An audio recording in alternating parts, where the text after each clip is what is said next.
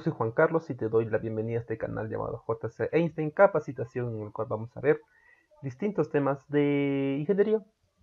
Y en este caso vamos a continuar con lo que es topografía. El curso de topografía general ¿ya? Eh, bueno, vamos a ver ahora, vamos a continuar con el tema de nivelación. Bien, vamos a ver ahora un pequeño ejemplito o un pequeño ejercicio respecto a la fórmula que te he explicado en el anterior video ¿sí? Respecto a lo que es error de curvatura y todo ello. Bien, ahora este ejemplito me dice, para mantener un, error de curvatura de un milímetro o menor de un milímetro, es necesario que la nivelación se emplee en instrumentos de precisión de un milímetro y aproximaciones de lectura de orden de décimas de milímetro. Bien, aplicando esta ecuación, luego tomando como una constante, eh, recuerda que hay un constante K, 0.16, y luego un error de un milímetro como máximo, entonces simplemente vamos a calcular esta distancia. Es decir, ¿cuál será la máxima distancia para que este error sea un milímetro? ¿Ya? Entonces, mira, tenemos esta formulita. ¿Ya? Reemplazamos entonces. Eh, bueno, este 2 es una constante, pasaría aquí. Radio de la Tierra, recuerda que es 6.370 kilómetros. Si estuviese en metros, simplemente lo multiplico por 1000. Luego, tenemos el error de curvatura que corresponde a un milímetro. Ese milímetro, si también yo lo convierto a metros corresponde a 0.001. Y luego abajo está 1 sobre la constante k. Bien, y finalmente, si hacemos este resultado, obtenemos que el valor es 123.153 metros. Y si esto lo redondeamos sería 120 metros. Es decir, en 120 metros el error va a ser de 1 milímetro. ¿Sí? El error de curvatura va a ser 1 milímetro. Pasemos al siguiente. A ver, eh, nivelación. Bueno, aquí ya vamos a pasar otro temita el cual es lo que es eh, nivelación, tipos de nivelación. Hay bastantes tipos de nivelación. Vamos a comenzar con una nivelación trigonométrica o simplemente una nivelación haciendo cálculos matemáticos. Simple. Manteniéndonos dentro de los límites del campo de topografía altimétrico y a fin de despreciar los efectos de curvatura y reflexión al considerar la Tierra como plana, la nivelación trigonométrica es el método de nivelación que utiliza ángulos. ¿sí? Vamos a ver la siguiente imagen. Mira, aquí tenemos un teodolito, el cual tú sabes que puede lecturar ángulos verticales, ¿no? Mira, aquí ha lecturado un ángulo alfa. Aquí te, o si no, puede ser un ángulo cenital, que parte de arriba. ¿Sí? Puede ser cualquiera de estos dos ángulos. Y si yo tengo ángulos, si yo tengo una horizontal, yo tengo también una mira. Mira, una mira. Entonces aquí yo simplemente puedo eh, hacer pequeños cálculos, ¿verdad? Puedo calcular tal vez este, este delta. Sí, puedo calcular porque yo tengo, yo sé cuál es la horizontal, tengo un ángulo, tengo una distancia, puedo calcular, puedo hacer simplemente pequeños cálculos. ¿Ya? Eso trata esta nivelación trigonométrica, o sea, en base a ángulos, tú haces simplemente cálculos y ya. Las ecuaciones generales utilizadas en nivelación trigonométrica se pueden deducir de la siguiente figura. Claro, mira, tenemos este equipito, ¿ya? Tú sabes que este equipo tiene una altura de instrumento, ¿sí?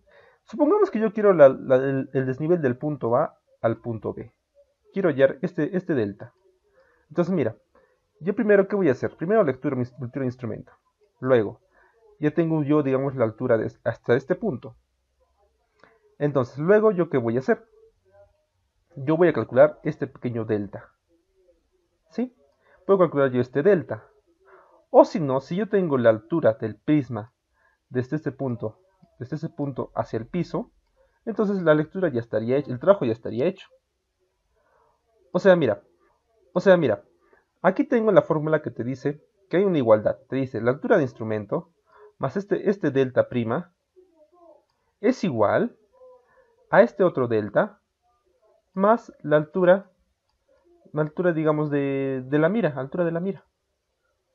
¿Sí? Es simplemente lo que te está diciendo. Ahora, otra forma también te dice que tú puedes multiplicar una distancia por tangente del ángulo para hallar este delta t. Este delta prima. ¿sí? Es decir, si yo tengo una distancia de aquí hacia aquí, entonces yo multiplico esto por tangente del ángulo alfa, entonces ya tendría este valor. Recuerda que tangente es cateto opuesto sobre cateto adyacente, entonces simplemente yo despejo y ya obtendría ese valor. ¿Sí? Como te digo, es simplemente aplicar, aplicar matemática, aquí no hay, no hay nada complicado. ¿Ya? Bueno, aquí otras fórmulas más.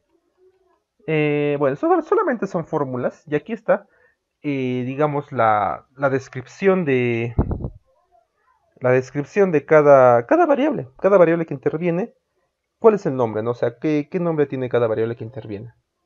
Por ejemplo, mira, este delta AB me dice desnivel entre A y B. D es una distancia horizontal, ángulo es el ángulo vertical de la elevación. Eh, luego tenemos el ángulo cenital, luego tenemos una pendiente.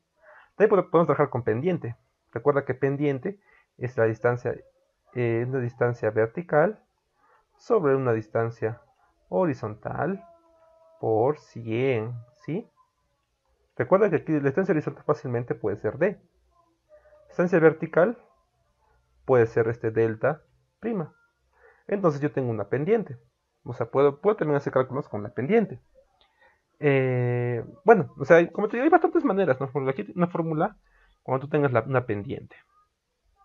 La cual, como te digo, tú también puedes hacerla por, tu cuenta. O sea, tampoco es que te fíes necesariamente de estas fórmulas. Ojo, ten en cuenta eso. Luego, el ángulo vertical se puede medir con teodolito o con, clinómetro o clisímetro. Eh, claro, hay, instrumentos que te permiten medir ángulos verticales, ¿no? Como el caso del teodolito u, u otros. Y como te digo, creo que el teodolito sería más recomendable. Es, un poquito más preciso que, otros instrumentos que sean de mano, ¿ya? Eh, bueno, y bueno, de, hecho, si cuentas con una estación total, eso es mucho genial. Eso incluso saldría de otra manera hacer los cálculos. El cálculo ya lo haría el equipo. Pero bueno.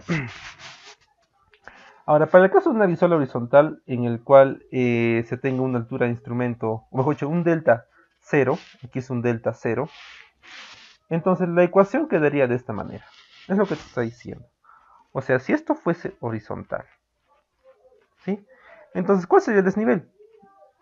Altura de instrumento, sube. Luego voy aquí, altura de, mira, bajo y ya está. Ya tengo la cuota de este punto. Entonces simplemente ya tendría el desnivel entre ambos. O sea, el desnivel me está diciendo que es la altura de instrumento menos esta altura. Ese sería mi desnivel. Es lo que está aquí. Altura de instrumento menos altura de mira. Nada más. A ver, ahora pasemos a este pequeño... Dos ejemplitos, dos ejemplitos. A ver. Pasemos este ejemplito. Tenemos con los datos de la figura, ¿sí? determina el desnivel entre el punto a y el punto B. Recuerda, el desnivel entre ambos sería esta distancia, esta de aquí, o sea, esto de aquí. Ese es el desnivel entre ambos. ¿Ya? Ah, a ver, aunque no, no, estoy hablando. Eh, que diga, el desnivel sería esto y esto. Recuerda que ambos tienen una cota. ¿Sí? Voy a resolver esto. ¿Ya? A ver, ¿qué datos tengo? Tengo una altura de instrumento, 1.50. Genial. Tengo un ángulo menos 15 grados 22 minutos 18 segundos. Y tengo una lectura de 3.572 en lo que es una mira. ¿Ya? A ver, ¿qué más tengo? Tengo una distancia horizontal y tengo un ángulo. ¿Qué más podría hacer? A ver, pensemos unos segunditos. A ver, a ver, a ver. Claro, si no me equivoco, puedo hacer tangente, ¿no? Mira, tangente de este ángulo, tangente de este angulito, ¿a qué sería? Esta distancia, esta distancia vertical, esta horizontal. Recuerda, tangente es igual a cateto opuesto, o sea, distancia vertical, sobre distancia horizontal. Tengo la horizontal, 85, si la tengo, y tengo la vertical. Entonces, para hallar la vertical, ¿qué haría? Esta horizontal pasaría a multiplicar aquí. Ah, bueno, incluso creo que está hecho esta partecita. Claro, esta partecita sería. Entonces, hasta aquí, ¿yo qué tendría? Yo qué tendría, tendría esta distancia vertical. Como te digo, este ángulo por esta distancia. Tangente de este ángulo por esta distancia. Es lo que está aquí. Ya tengo esta distancia vertical. ¿Ya?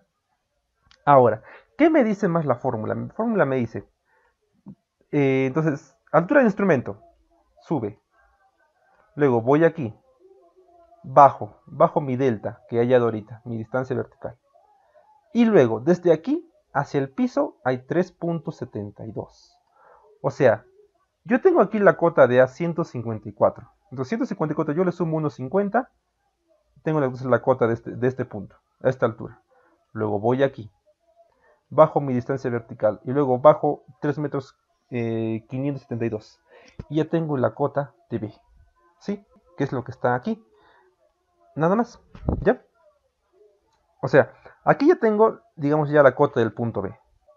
A ver, veamos aquí. Bueno, aquí, aquí lo que, digamos, lo que tengo aquí por el enunciado es que simplemente ha hecho la operación de sumar, restar, restar. Y aquí sale menos 25 tantos. ¿Ya? Es el valor que aquí he hallado. Ojo, pero si yo quiero hallar, digamos, la cota de este punto, entonces, ¿qué haría? A este 154 yo le sumaría esta variación que he hallado. ¿Sí? Como te digo, la forma correcta sería esto. Cota del punto A. Sumo 1.50 todo instrumento. Voy aquí horizontal. Bajo mi distancia vertical. Y luego bajo mi altura de 3.572 metros. Y ya tengo la cota del punto B. Y esa es la cota que tengo aquí. 126.288. ¿Sí? Eh, como te digo, no es necesario basarse en esta metodología, ¿no? Simplemente tú un, digamos, criterio, ¿no? Como vas a sumar, ya tengo una cota, luego aquí, hay esta distancia. Claro, luego le quito la distancia de la mira y ya tendría la cota. ¿Sí? Nada más. Eso es todo. Pasemos a este siguiente, a ver. Eh, es muy parecido, mira, tengo aquí un ángulo. Ojo que sea un ángulo cenital, ¿sí? Cenital, cenital. Eh, entonces, ¿qué podría ser? A ver, tengo distancia inclinada ahora, no tengo una distancia eh, horizontal. Ya, entonces, ¿qué puedo hacer? A ver, tengo ángulo y tengo eso. Me interesa calcular el de aquí, ¿verdad? Entonces, ¿qué te parece si yo uso seno? Mira, tengo este ángulo. Sí, ángulo alfa. Será 90 menos 75 tantos. ¿Ya? Entonces tendría seno, sería seno de ese angulito alfa ¿Qué sería? Cateto opuesto sobre hipotenusa. Cateto opuesto sobre hipotenusa. Hipotenusa es, 94 tantos. Entonces lo tengo hipotenusa. Tengo el ángulo. Paso aquí y hallo simplemente este delta o este cateto opuesto. ¿Ya? A ver, veamos aquí si aquí está resuelto. A ver, eh, bueno, aquí ya considerado la altura de instrumento y altura de mira. Bueno, ya mira, pero como te digo, aquí tú vas a hallar este, este cateto opuesto o este delta. O sea, de aquí hacia aquí. Tú vas a hallar esto. ¿Ya? Ahora mira. Entonces, ¿qué haría? Mira, tengo la cuota de A. ¿Sí? Nuevamente, sumo altura de instrumento. Voy aquí. Ojo, horizontal, horizontal, horizontal, horizontal. Luego, sumo mi delta, mi distancia horizontal. Y luego le quito la altura de 2.316. ¿Sí? Luego le quito esa altura de 216. Entonces, esa sería la cota de este punto B. A ver, aquí vemos que el resultado me dice que es, a ver, a ver, 1625.844. Claro, puedes comprobarlo eso, como te digo. Cota, sumas, vas aquí. Luego, sumas el delta que has hallado y luego le restas esa altura de mira. Recuerda que en el ejemplo anterior, aquí era sumas, pasas aquí horizontal, restas este, este, este delta que hemos hallado y luego le restas la mira. En cambio, en este ejemplito, estás apuntando hacia arriba, entonces sería cota, altura de instrumento, vas aquí, horizontal. Luego, súmale tu delta que has hallado y luego réstale tu altura de 2.316. Al final te tiene que dar resultado 1625.84 eh, que diga 844. ¿Sí? Y bueno, como te digo, para esto no hay, eh, no hay tal vez una metodología propuesta, simplemente es ver qué ángulos tienes. Ver qué ángulos tienes, qué distancias tienes, qué datos tienes. Y simplemente en base a eso, tú simplemente aplicas tal vez seno del ángulo, coseno, tangente, y despejas la variable que te interesa. Luego eh, aplicas al sumar altura de instrumento, restar altura de mira y créeme que lo demás te va a salir. Como te digo, aquí no hay una metodología propuesta. Si te has dado cuenta, simplemente yo he analizado que tengo y en base a eso yo planteo una ecuación y lo resuelvo. ¿Ya? Bueno, eh, entonces espero que te haya sido de este agrado este video. Recuerda compartir, darle like, suscribirte, eso me ayuda bastante. Y sabiendo que has hecho todo eso, entonces yo te veo en un siguiente video.